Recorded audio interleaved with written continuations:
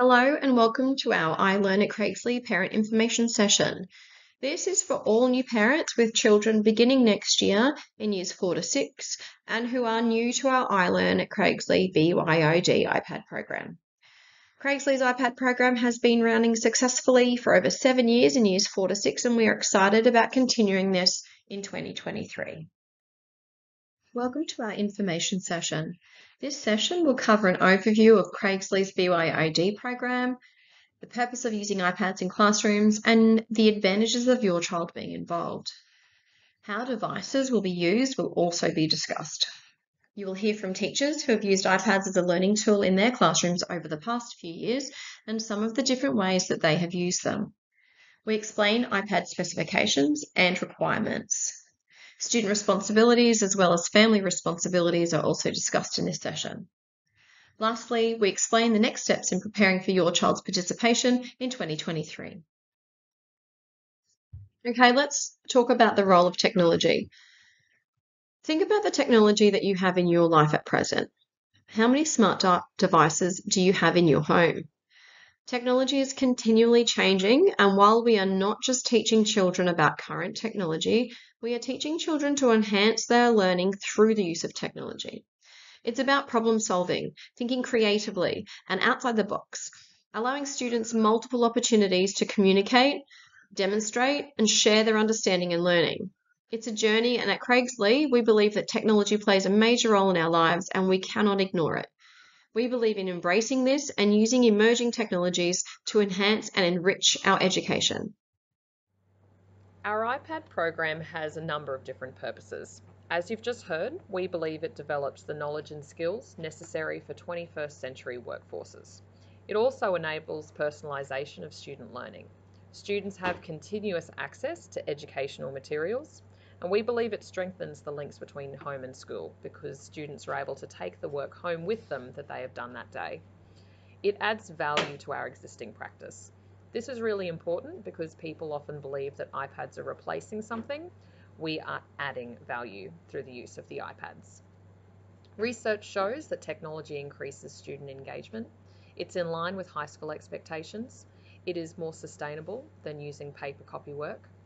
It aligns with our digital technologies curriculum, it increases ICT and problem solving skills, and it is the future. So how do we use iPads in our classroom? Well, firstly, I think differentiation is a, uh, a key uh, thing here because we can differentiate and um, provide different material for different students that meets their individual needs. They have access to rich and current resources. We have um, Google at our fingertips when we want to look up information. Um, we learn critical information literacy skills and we also can give instant feedback on student work. You'll see this shortly when you hear about some of our teachers, what our, what our teachers are doing in the classroom. It encourages collaboration between students, um, and there are a number of open-ended apps that we use um, that rather than the drill and practice, this is not a replacement for pen and paper. As Amanda said earlier, it is about adding value to our existing learning. Um, we have access to our emails and a number of our resource scheme subscriptions. Have a listen to what our teachers have got to say about how they use uh, iPads in their own classrooms. So let's hear from some of our teachers about how they have used iPads in their classrooms over the past few years. Some of these examples that you're going to hear um, in a minute are from teachers from 2020, 2021, and as well as this year in 2022. Let's see what they have to say and how iPads are used.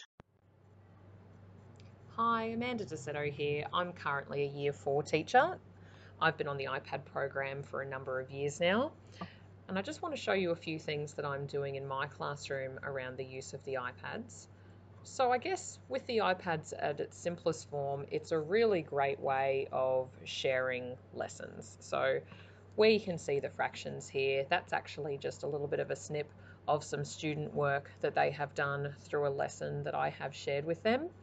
Um, what I will say about this though is that it's amazing the difference it can make when students are able to use the iPad functions rather than a pen and paper in order to show things like diagrams and their working. Um, some very reluctant writers don't hesitate when it comes to working on their iPad. Now, where it says speech to text here, this is a good um, example of student support. Again, for someone who might be a reluctant writer or for someone who needs extra scaffolding with their writing, the iPads are a really, really functional tool to be able to do things like speech to text. Also, text to speech, which isn't shown here, but students being able to have large sections of text where it can then be read out loud to them. So it actually does break down barriers in a way to support students with their literacy learning. Here you can see a science assessment task that used to be a paper and pen copy booklet, which has been transformed into a digital presentation on a science topic using Microsoft PowerPoint. So the students are able to show their learning not only through text but through their use of images. They also took photographs of work within their book and they uploaded it into the PowerPoint to be able to show their understanding about the life cycle of an animal. With the writing analysis, I was able to share with my class large pieces of text for the purpose of them analysing the structure. And you can see here um, the student has used colour coding to be able to highlight the different sections, to be able to see how paragraphs are made up of different ideas and different arguments. Video and audio editing is another really fun way for the students to engage in their learning that we wouldn't be able to do without the technology like the iPads. So for my students' drama and media assessment last term, they created a movie. Um, they filmed all of their scenes, put them onto iMovie, and then used that software to um, show their editing to create a polished film. The use of a green screen is also another really fun way to engage the students in media practices. The last thing I want to show you from year four is just some way that I collect some data on the students. It's very purposeful because it allows me to collect data in real time so I can use software programs and apps to set up quizzes and assessments. Um, the students complete those and it sends me the results live. So I can very easily see at the end of a lesson, or if I'm getting ready to do an assessment and I want the students to do some revision, I can very easily see those students who need some extra learning and some extra support. I can also very easily see the students that need ex extension. Um, the students are really engaged in this type of learning. They find these quizzes really fun. It also gives them immediate feedback on how they're going so they can analyse how they are feeling with their learning and whether there's an area that they need to work on. Hi there, I'm Shani Micklejohn. I'm the Year 4-5 composite class teacher and I've been involved with the BYOD program since its very inception. I'm here to talk about the way I'm using my iPads in my classroom, um, specifically around the uh, ability to give students uh, good quality feedback and being able to differentiate class content to suit a whole range of learners. On the slide you're looking at, um, there's a few different uh, work samples that I've taken from my class over this year and last year. The force diagram on the far left of your screen, uh, a student had to, to draw a diagram and write an explanation about the experiment that we conducted. Underneath you can see that um, what the iPad has allowed me to do is see the students work immediately and give them some timely feedback, which in terms of students being able to correct their work and, um, and improve it, uh, it's a really valuable tool. Um, the, middle, the middle image is uh, looking at student reading and looking at their comprehension and being able to have the same piece of text in front of me as the students are reading and be able to pick up on the things that students are doing well and the things that they still have to work on. The other slide uh, on the far right of the screen is about students' reading goals and our ability to track how students are going with their goals and to give them feedback on what they still have to improve and work on. So one of the things that the iPad program has allowed us to do really effectively is be able to differentiate the work that we're doing in our lessons to a whole range of different learning abilities. On the screen is an example of a typical maths lesson for my year 4, year 5 class. So on the far left is the uh, classwork that um, that is the, the sort of the minimum year level expectation, so that the the work that every student is expected to be able to do. And on the other sides of the screens, the other sections of the OneNote has uh, practice for that particular concept for the fast finishers, and then underneath that um, is work for extension students who are well above what the year level expectation is. Uh, so the OneNote uh, allows us to provide for a whole range of learners in a whole range of contexts, and it's right there at their fingertips. And it also means that uh, with the work that the students are doing on the screen at any one time, that we can keep tabs on how they're going and if they're making mistakes in any of these areas. One of the other really effective uses of the iPads that we've found this year is with spelling and dictation. Uh, the students all get a paper copy of their spelling list because they, they cut up a word sort and they, they get to know the spelling rules for each particular week and each particular list. And out of those spelling words, I, I write dictation sentences for the children as a, as a handwriting and listening activity, as well as testing that they understand the spelling of their spelling words. Of course, in my class with such a wide range of learners, um, the iPads has given me the ability to be able to put all my dictation and my spelling lists onto the iPads via OneNote. So what this has meant is I've, been able to record myself saying the dictation sentences uh, for each spelling group for each week. And what this has meant the students have been able to do is assess themselves at their own pace. This is very handy if you have learners who uh, have auditory processing problems and, and, need a few more repetitions of things before they write them down if they have to listen to them first. So this has been a fantastic uh, resource to have for that, um, as I do have a couple of learners who do struggle with writing things down that they've, ha- they've heard out, of, out loud as opposed to copying off a screen. This has also meant that I've been able to give extension spelling to those learners who are really quite competent in this area, but that the main benefit is that every child has spelling at, at their level and they have their dictation at their level and more importantly at their own pace. Uh, so this has been a, fantastic resource to have uh, for each student in the class with respect to, to doing this. I upload all my PowerPoints to OneNote, so while I'm teaching them and they're visible on the screen in front of the students in the classroom, um, other students actually have access to them on their iPads in front of them as they're working, so they can move around the room. They don't even have to be in the room to access the lesson anyway. So as I'm talking, they go through the lesson um, uh, um, on their iPads and they can interact and write on top of the their own version on their iPads as we go. And you can see in this literacy warm up slide, the student has actually typed in and he's written his responses as he's gone through. You can draw on them, you can highlight. Here's some words he's highlighted that he knows and understands the words of these, um, the vocabulary we're going to be using in the lesson. And um, yeah, so they can interact with it as we go through. makes it much easier, allows for differentiation, and it also means that students can catch up if they happen to be uh, at home um, learning from home.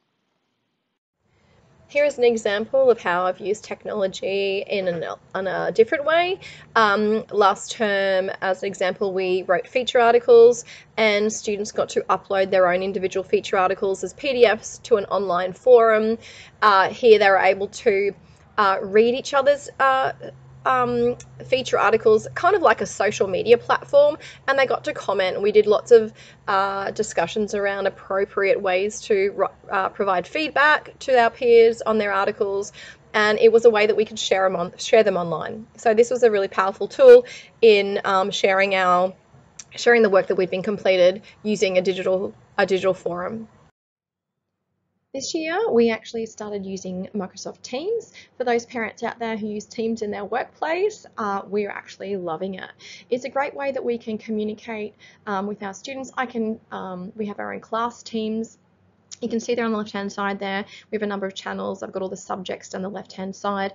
And one example, one way that I've used Teams is um, with art. So the kids have uh, um, created their art projects. They had to create a monument um, and then they took photographs of how they wanted to display their art. I got them to upload to the art channel. They uploaded their image and they also then had to reflect on their piece of work, which I could then assess their writing. Um, the great thing about this is that they get to share each other's work they get to share their own work and then even comment on each other's.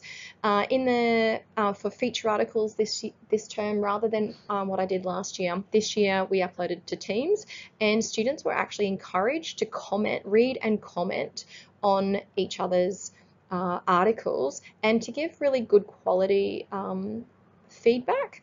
Uh, we talk about it being, it looks a little bit like a social media kind of platform. However, the language that we use is is formal and it's used for a formal um, in a formal way.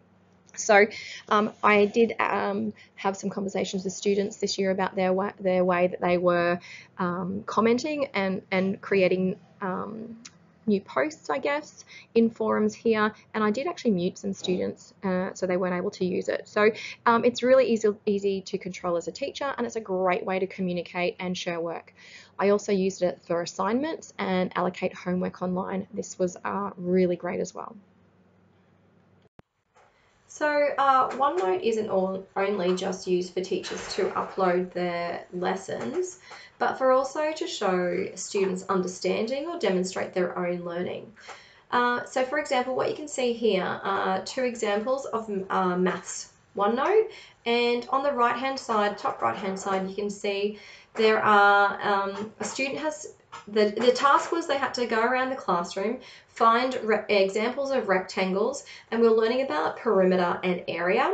So they had to then take photographs of the rectangles that they'd found, um, measure them, uh, upload the uh, photographs into OneNote, and then perform the calculations. So they had to work out the perimeter around the rectangle and then this um, the the area uh, um, of that same rectangle. Uh, you can see I've also made some notes here for the student to make uh, um, I provided feedback to that student, like Shani was talk talking earlier, around um, making sure that they use the square centimeters um, when they're in their in their answer.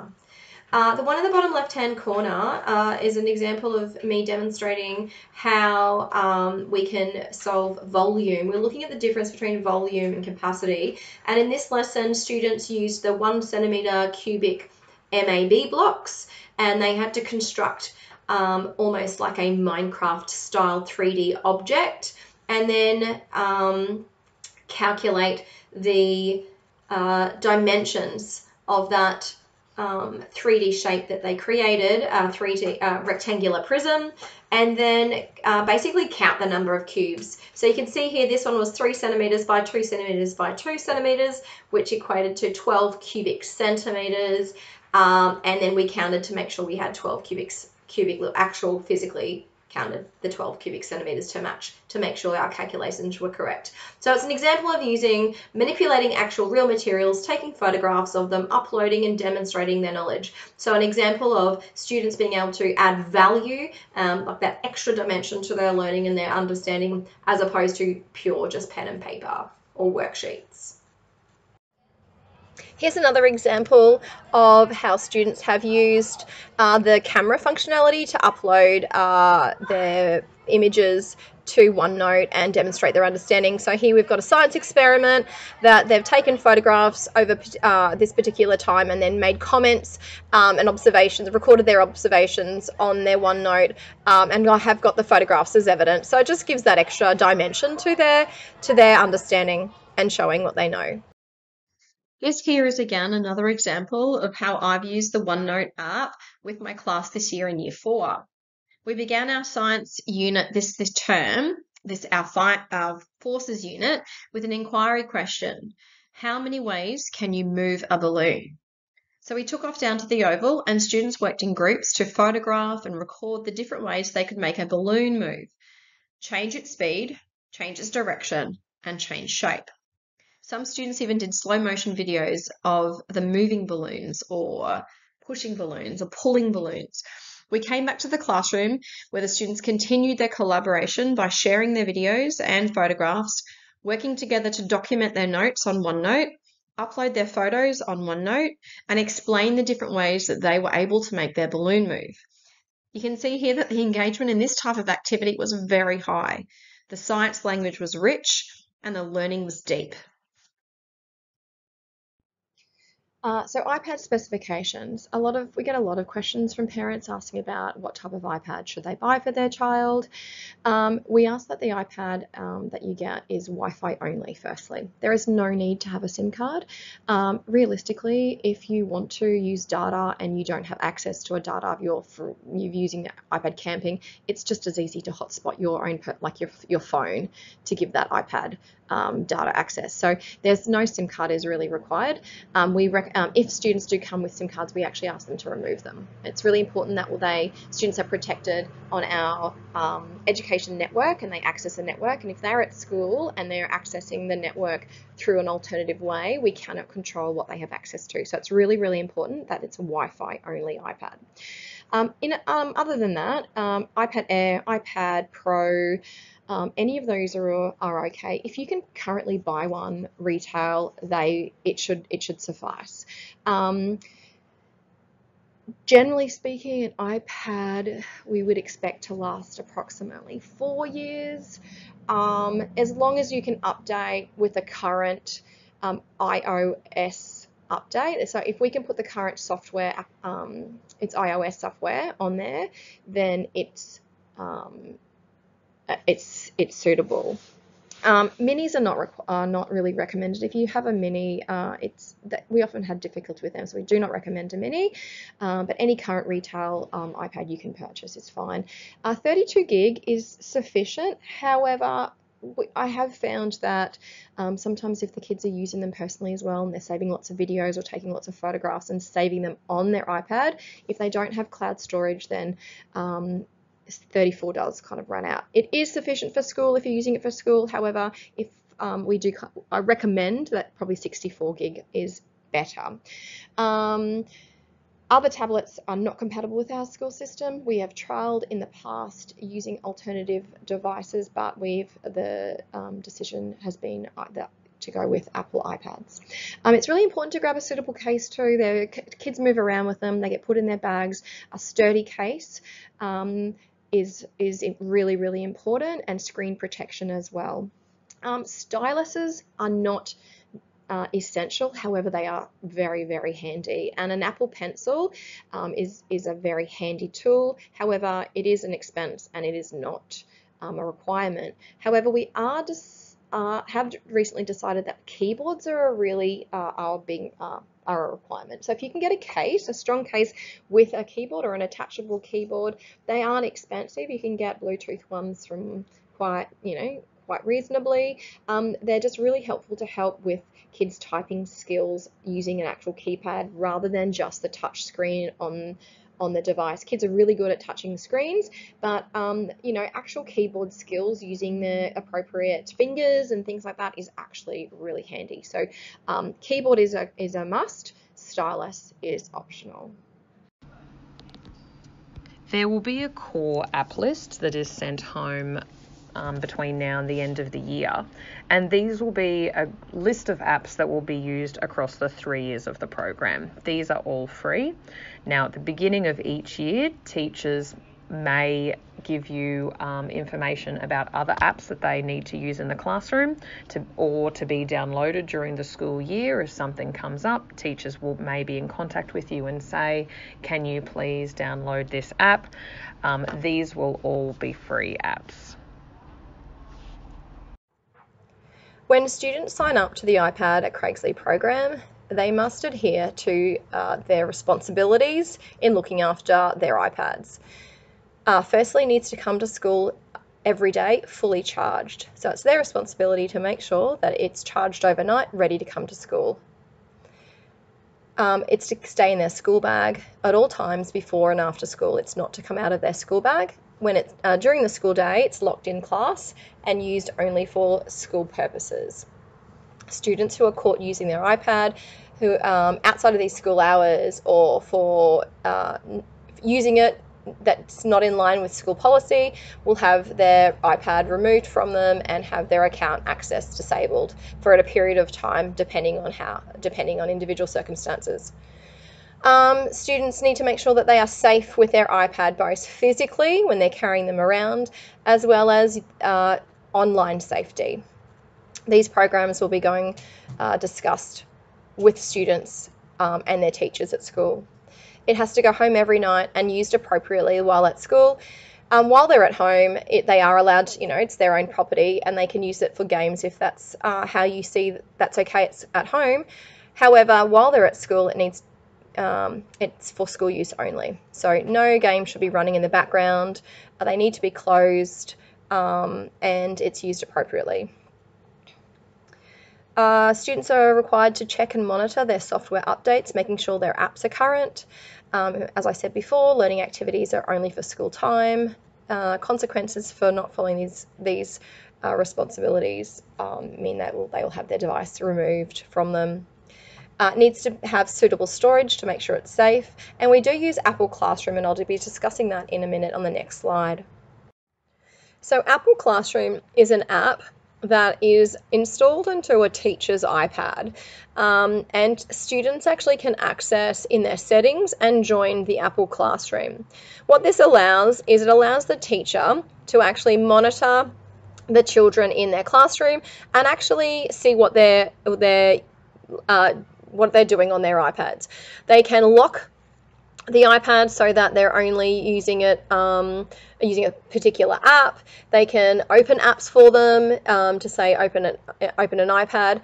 Um, they can actually lock the iPads altogether. Um, at the end of the day, uh, once Apple Classroom is closed, um, teachers can get a little report on, on the amounts of time that each student has been on particular apps um, throughout the day. So you can get a bit of a report and see uh, as to what kids are doing. Now, um, this is really helpful because it actually just, uh, at any time, it can show the teacher uh, what the student is, is actually doing on their iPad. So it's an easy way to monitor, or it's an additional way to monitor. Um, not all teachers are using them, and not all teachers use it all the time, but it is does come in handy so that we can uh, monitor student usage. In addition to the student responsibilities, families also have some responsibilities when they sign their child up for the iPad program. Uh, the number one there is insurance. Now, it's really important to insure your child's iPad. You can add it to your home and contents insurance policy um, at home, or you can actually look into getting Apple. There's Apple insurance when you purchase a new iPad. Um, it's important to make sure that they're charged, that your child is charging it, um, and that the, the core apps that we've provided or the school has provided um, at the beginning of the year is being installed onto that onto those iPads. Um, being part of the resource scheme is important uh, because it allows also access to subscriptions through uh, through that iPad use. It um, yeah, through the subscriptions. Um, it's important to support your child to participate completely into the scheme, which means they need to bring it every day. You need to be able to fix breakages promptly if they occur, and that all of the apps on their iPads are updated uh, regularly. Um, it's also important to monitor your child's usage and also the storage of um, on their iPad. So um, sometimes we find that students have a lot of games or they take a lot of videos, and that's completely fine to do in your own time. It's their device and outside of school hours. However, if it impacts on the student's ability to store things on their iPad at school or it's affecting functionality, um, then it can become a bit of a problem. So please just make sure you're keeping an eye on how much space your your your iPad or your child is using um, and storing on their iPad. Um, now we've got here monitoring of social media. Now this is really important. Um, look, it, it's it's a personal it's a personal preference. It's a personal choice uh, for each family to decide make those decisions for their own children. Most social media functionality on apps or anything that has some sort of group forum or chat functionality, they do require um, a 13 plus age. Uh, it is very important that you have conversations with your children about how they're using and how they're chatting and communicating um, once um, they have access to this this new technology. Um, even if you do not allow your child to have social media apps, there is the messaging functionality on the iPad and we find that students do have do tend to use group messaging and have this group message where um, they send multiple almost spam messaging to large groups of students or friend groups. Um, so just keep an eye on it. Have an open conversation with your children about um, messages they're receiving and group chats that they're part of and please talk to your teacher your child's teacher if you think there are any concerns or have any concerns about that. Um, about that sort of messaging. Um, the other thing to mention here is also that the your, your child's iPad is not to be used to contact them at school during the school day. Um, if you need to contact your child, just call through the office like you would do if they were in any other year level. Um, we've had situations where parents have actually tried to contact or message their child during the day to give them a message, and it just it creates uh, confusion um, for students who um, who uh, who aren't using the you know, they're receiving messages um, and then they're getting into trouble for it. So we need to make sure that no students are using any sort of messaging during the day. Um, so if you do need to contact your child, you make sure make sure you do it through the office. Okay, so your next steps from here are that there's going to be a Q&A session uh, on the 12th of October uh, this week, week two of term four, starting from 5:30 p.m. Um, you receive an email invitation to join that online session. Uh, students and parents are asked to read through the section of the agreement form. So you'll also receive a copy of the policy document, the I Learn at Craigslea policy document that'll be emailed home. Um, it'll also detail the participation agreement that you'll need to sign online. This um, student participation agreement form will be emailed via, I think it's going to be um, via it'll be emailed home and also through the Schoolzine app and you can fill in and complete that form online on behalf of your child. Uh, you'll also get an email notification of the core list of apps that will need to be installed by the end of next uh, by the end you'll get the email by the end of the year um, for the core list apps to be installed before the beginning of next year 2023 um, but the session will on Wednesday the 12th of October October on Wednesday at 5.30 should give you some more information as well. Thank you for coming this far and listening to the presentation and taking an interest in your child's education for 2023. Uh, if you'd like to find out more or ask any questions, please join us for our Microsoft Teams Q&A session on Wednesday night, the 12th of October from 5.30 p.m. See you then.